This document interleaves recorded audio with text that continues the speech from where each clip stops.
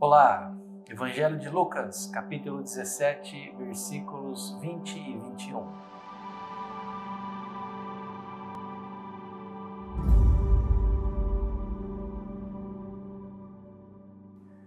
Interrogado pelos fariseus sobre quando viria o reino de Deus, Jesus lhes respondeu: Não vem o reino de Deus com visível aparência, nem dirão: Ei-lo ali ou lá está, porque o reino de Deus está dentro de vós.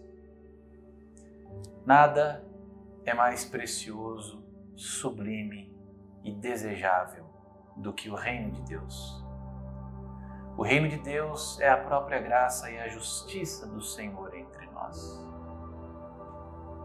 O reino de Deus tem um rei e ele governa soberanamente e sustenta tudo em seu reino. No reino de Deus tudo é perfeito.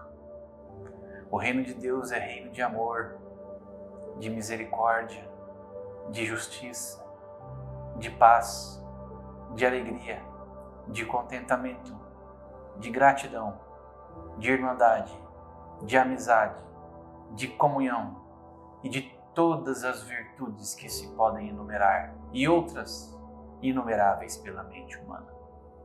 O reino de Deus é tudo isso e muito mais.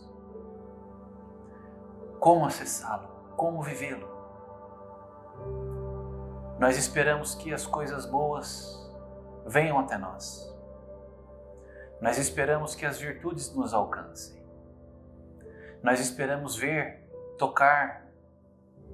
Nós trabalhamos e duro pelo pão dessa terra, mas o reino de Deus é diferente. O reino de Deus não está ali ou não vem de lá, não tem uma visível aparência aqui para nós. Nós precisamos aprender que o reino de Deus, conforme as palavras de Jesus Cristo, está dentro de nós. Portanto, todas essas coisas boas, todas essas virtudes, todas essas bem-aventuranças, benditas e amáveis ações vêm de dentro de nós, de dentro de cada um de nós. Não espere que a virtude venha do outro até você.